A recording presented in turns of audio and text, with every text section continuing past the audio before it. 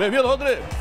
E aí, E Mauro, aí? tudo bem? Bem, você? Como é que tá essa gripe aí? Tá Tá melhorando? mais ou menos, tá melhorando, mas Mais amanhã eu já menos. tô bom. O meu poder de recuperação é impressionante. Tá mais Deus pra lá do que pra cá? Eu tô mais pra lá do que pra cá hoje, mas amanhã eu tô mais pra cá do que pra lá. Tá tipo assim, se, se cair, como é que é? Se, é, se ficar em pé, se, se dormir, Como é que é? Se deitar, como é que é? esqueci o... Em pé. Fica Em pé sem cair, deitado sem dormir. Em pé sem é, cair. é mais ou menos por aí. Em pé É sem cair, deitado sem dormir. É mais ou menos isso, mas dá pra ir. Ô, Mauro, vamos começar a falar do Atlético? Vamos lá. Vamos lá, vamos falar do Galo então, gente. Olha só, a imprensa colombiana, ela noticiou a possibilidade do atacante Xará deixar o Atlético e voltar ao Júnior Barranquilla. Segundo matéria publicada no portal Antena 2, Xará é alternativa no clube para ocupar a vaga de Jarlan Barreira, que foi negociado. O Júnior está de olho em Xará para a disputa da Copa Libertadores do ano que vem. O site Antena 2 ainda cita que os valores da venda do atacante ao Atlético, que aconteceu no meio deste ano, não foram pagos na totalidade. Na época, o Galo contou com a ajuda de um investidor para comprar o jogador, que custou 6 milhões de dólares. As duas primeiras parcelas da contratação de Xará foram pagas. A terceira, a terceira parcela ela está vencida e o clube pretende quitar a dívida no começo de 2019. Outras duas prestações vencem no ano que vem. O detalhe... Não foi uma boa con- contratação, viu? Não veio, não, não falou por que veio. Ah, mas não jogou. O que que ele jogou esse moço? Vamos falar. Ele jogou para custar 6 milhões de dólares. Vamos falar o tanto que ele jogou. Vamos lá, É, vamos o- pesar isso daí. E o detalhe, o detalhe é o seguinte, que o Xará foi a maior contratação da história do Atlético. Então. Na época, no, no- no valor em reais, né, fazendo a conversão da moeda, deu quase 24 milhões de reais no meio do E ano. não falou porque veio. Você acha que Ele não fez valeu- Um gol, fez um gol só, ué. Um gol em toda, toda a disputa aí. Um gol é muito pouco com um cara que custou tão caro, né? E ficou várias vezes no banco, pouco jogou. Eu, eu acho que não foi uma boa contratação. né? E já pode estar acho- voltando, né? É, eu acho que não foi. Para pagar 24 milhões de Quase reais. 24 milhões de É reais. muita coisa para não jogar nada e fazer um gol só. É. Não pegou no Atlético, não pegou. E provavelmente, como parece que o Atlético tem ainda essa dívida, talvez dê até para fazer uma negociação, né? Claro. Deixa de pagar, o cara vai para lá, né? É isso Vamos aí, ver, mas olha, não veio, não mostrou pra que veio. Não adianta fazer poucos gols desse jeito. Ok. Olha só, Mauri, tem gringo do Cruzeiro na mira de outros clubes também. O empresário do meio-campista Mancoejo revelou em entrevista à Rádio Itatiaia que dois clubes argentinos têm interesse no jogador. São eles, o San Lorenzo e o Independente. Mancoejo tem contrato até o fim de 2020 com o Cruzeiro, com opção de renovação por mais uma temporada. No Cruzeiro, o Mancoejo foi titular apenas 19 partidas. Ao todo, ele fez 39 jogos e marcou 3 gols. É outro também que não vai deixar saudade. Muito pouco, não vai deixar saudade. Veio também aí com a esperança danada, trazendo esperança aos torcedores do Cruzeiro, mas também não falou pra que que veio. Ele veio Né? do Flamengo veio. e não agradou a torcida Não, do Cruzeiro. Não. Você vê, 39, aí, gol de pênalti ainda. Entendeu? Gol Participou de pênalti. pouco. Três gols e um deles de pênalti. Pra você É. ter uma ideia. É, o Mancoejo realmente não é um jogador que, se ele sair, Não não, é um jogador né, que vai deixar saudade na torcida do Cruzeiro, não.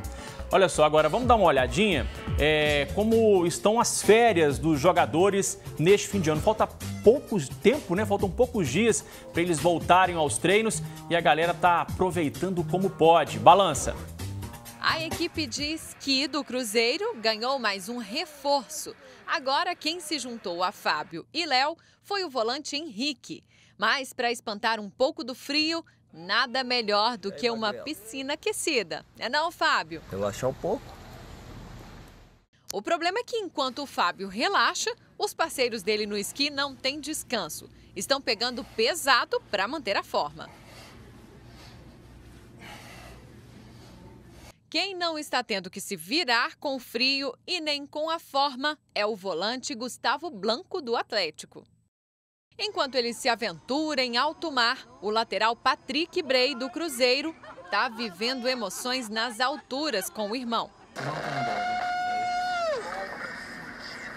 Já o lateral do Galo, Emerson, está colocando todo mundo para dançar. Eu vou para na gaiola, fica de marola. Senta pro chefinho do jeitinho que ele gosta.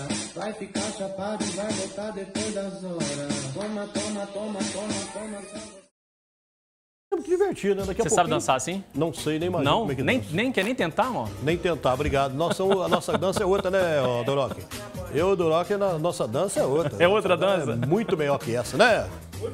Agora o pessoal tem que aproveitar mesmo, porque tá acabando, né? Claro, isso aí, ué. Já, já tem clube, eu acho que semana que vem já se reapresenta já. Porque daqui a pouquinho tem pré-libertadores, Copa do Brasil, campeonatos estaduais. É. Temporada é longa. Esse É. ano tem Copa, do, Copa América, Isso. né? inclusive com um jogo aqui em Belo Horizonte. Campeonato Brasileiro. É, tem muito futebol. tá. Tem muito, jogo futebol. esse ano.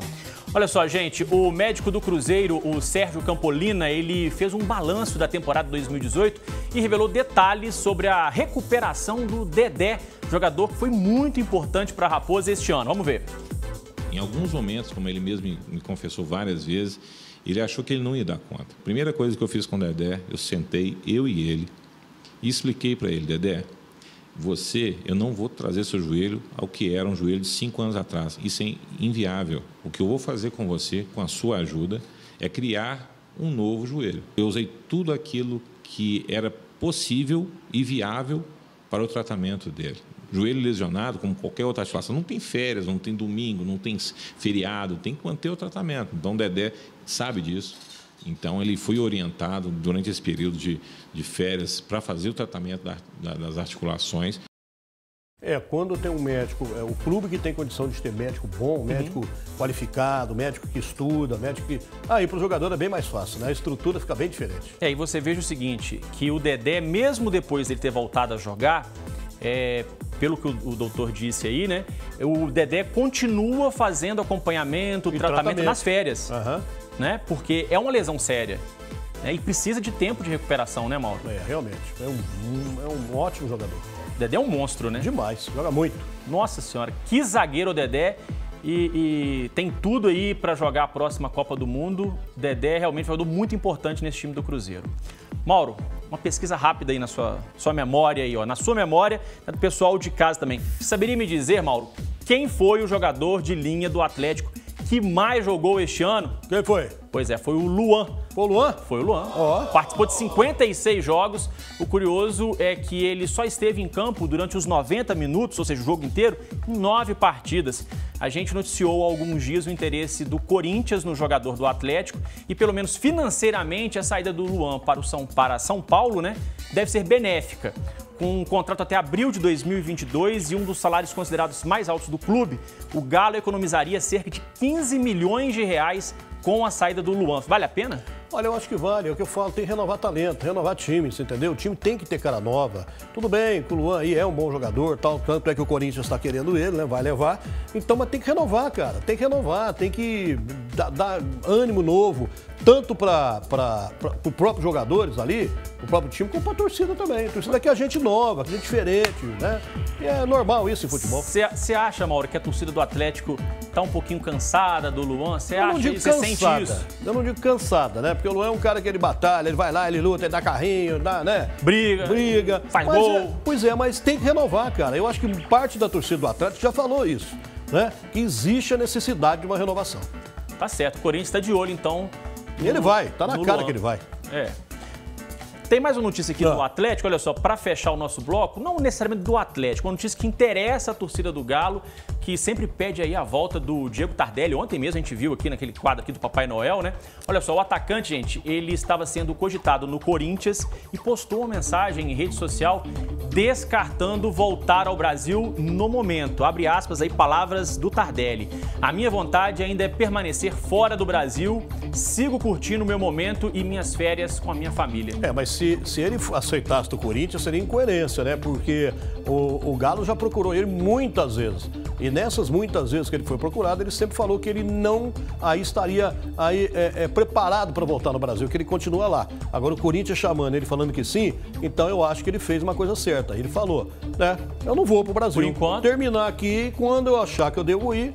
Se algum clube me aceitar, tô indo aí. Porque o coerente seria ele vir realmente para o Atlético. É, e o Tardelli foi. Ele é um ídolo da torcida, Nossa. foi importante na Demais, Libertadores, né, na demais. conquista da Libertadores, Copa do Brasil, Recopa.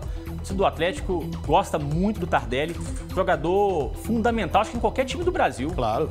Não é lógico, É bom. Tanto é que a China não quer liberar ele. É, é, e tem, e Já tem tá dinheiro. 33 anos. Tá bom, tá bom. Ele, tá, ele se mantém. É, aquele menino lá que jogava lá o, no Palmeiras lá saiu com 40 anos de idade, Roberto. Roberto, pô. né? E tanto que corria, tanto que dava carrinho, tanto que jogava. Se preserva, né? O próprio aí, o menino do Atlético Mineiro aí, o Ricardo Oliveira, tá com 38. Olha, olha até quando jogou o Romário, por exemplo. Romário. Jogou muito, jogou muito. O Romário passou dos 40. Ah, e nós também, né, Duroc? nós jogamos até hoje, jogamos? Então, até hoje nós jogamos, jogamos? Na pelada nossa lá? É? Eu, já- eu- eu- já passei dos 40 já, mas não posso mais jogar bola, o coração não deixa. Mauro, um abraço pra você, foi um Se prazer. Deus quiser, amanhã estamos de volta. Um abraço. Valeu! Amanhã a gente tem mais tempo de esportes aqui.